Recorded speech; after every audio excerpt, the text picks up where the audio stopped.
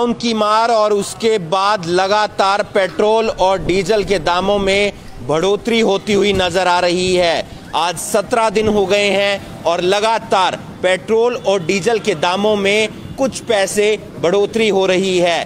अगर बात करें आज की तो आज भी पेट्रोल और डीजल के दामों में वृद्धि देखने को मिली है। और 16 दिन पहले की बात करूँ तो पेट्रोल जो था वो 7 जून को इकहत्तर रुपये तीस पैसे था। और अगर बात करें आज की तो पेट्रोल के आज के दाम है सतर रुपये इक्यावन पैसे, यानी कि तकरीबन 16 दिन के अंदर छः रुपये इक्कीस पैसे की वृद्धि पेट्रोल में देखने को मिली है। और ये आप देख सकते हैं, अगर डीजल की बात करें तो डीजल भी लगातार बढ़ता हुआ नज़र आ रहा है। कहीं ना कहीं नुकसान या आम आदमी की जेब पर काफ़ी प्रभाव पड़ता हुआ नज़र आ रहा होगा। पेट्रोल डीजल के दाम जैसे बढ़ रहे हैं।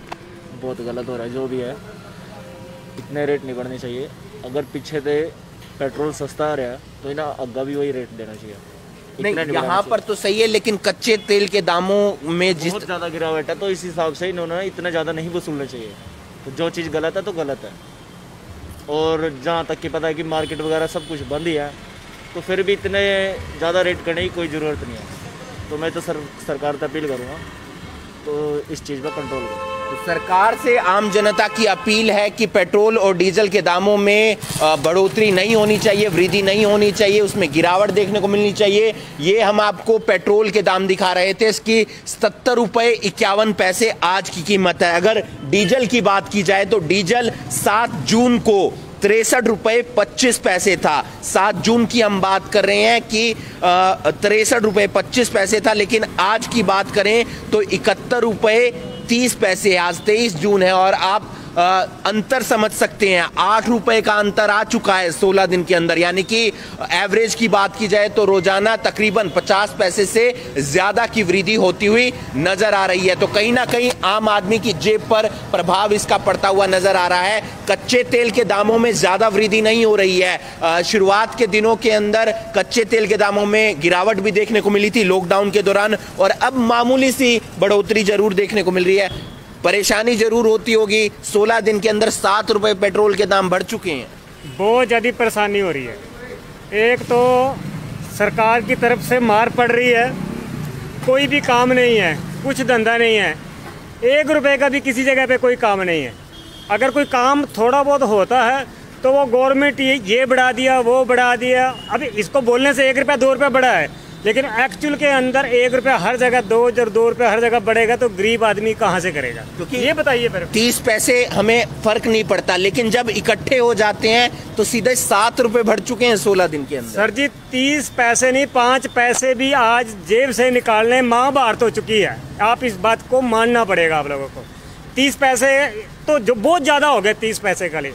दुकानदार पाँच पैसे नहीं छोड़ता है तीस पैसे तो बहुत बड़ी बात हो गई है। और गवर्नमेंट से किसी भी प्रकार का कोई भी ये इस प्रकार की महँगाई कंट्रोल में नहीं आ रही है।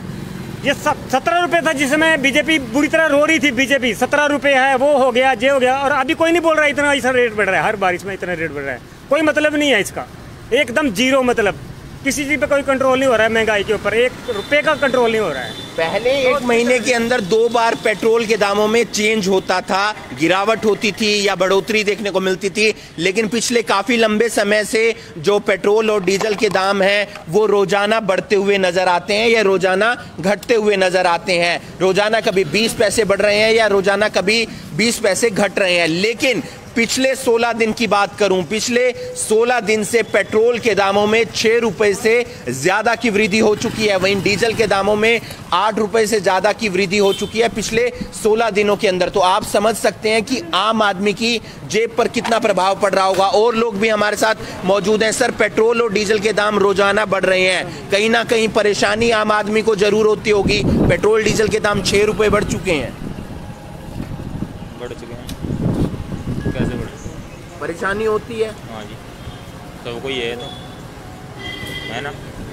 बढ़ना चाहिए ना मंदन होना चाहिए। तो कहीं ना कहीं पेट्रोल और डीजल के दामों में वृद्धि नहीं होनी चाहिए। वजह एक इसलिए भी है क्योंकि कच्चे तेल के जो दाम हैं वो ज़्यादा बढ़ते हुए नज़र नहीं आ रहे हैं। सोमवार की कीमत की बात करूँ तो इक्यावन रुपये के आसपास प्रति बैरल कच्चे तेल के दाम की कीमत थी। डॉलर की बात की जा रही है। इक्यावन दशमलव ज़ीरो आठ प्रति बैरल डॉलर। ये डॉलर के अंदर मैं बात कर रहा हूँ, जो कच्चे तेल की कीमत है उसकी। लेकिन जिस तरीके से कच्चे तेल के दामों में वृद्धि नहीं हो रही है, ऐसे में पेट्रोल और डीजल के दामों में लगातार बढ़ोतरी क्यों हो रही है, इससे कहीं ना कहीं आम आदमी परेशान होता हुआ नज़र आ रहा है। एक लॉकडाउन के अंदर लोगों को काम नहीं मिला, लोगों के काम धंधे छूट गए और उसके बाद अनलॉक शुरू हुआ है तो वहाँ पर भी लोगों को काम मिलता हुआ नज़र नहीं आ रहा है। ऐसे में सरकार को इस बात की तरफ़ ध्यान देना चाहिए और समझना चाहिए कि आम आदमी की कितनी मजबूरी है। अगर आम आदमी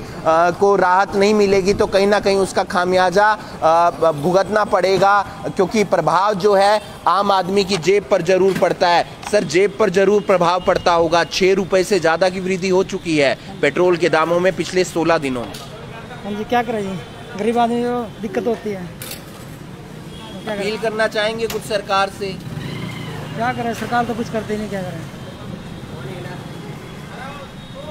आम आदमी की जेब पे तो फ़र्क पड़ता है। हाँ वो तो है यार काम भी नहीं है धंधा कुछ नहीं है। और क्या काम धंधा नहीं है और उसका असर जो है आम आदमी की जेब पर पड़ता हुआ नज़र आ रहा है। डीजल के दाम बढ़ रहे हैं आठ रुपए के आसपास बढ़ चुके हैं और इंडस्ट्री अब फिर से शुरू हो गई है। ऐसे में उसकी खपत भी ज़्यादा होगी। लेकिन समझने की ज़रूरत है आम आदमी की आ, को राहत दी जाए किस तरीके से दी जा सकती है सब्सिडी घटाई जा सकती है। और ऐसे में उसके बाद पेट्रोल और डीजल के दाम कम हो सकते हैं। समझना होगा सरकार को ताकि आम आदमी राहत भरी सांस ले सके। इस वीडियो को आप ज़्यादा से ज़्यादा शेयर कीजिए ताकि सरकार तक आ, मीडिया के माध्यम से आम जनता की आवाज़ पहुँच सके। और अगर आपने अभी तक हमारी ऐप को डाउनलोड नहीं किया है तो प्ले स्टोर में जाइए करनाल ब्रेकिंग न्यूज़ टाइप कीजिए।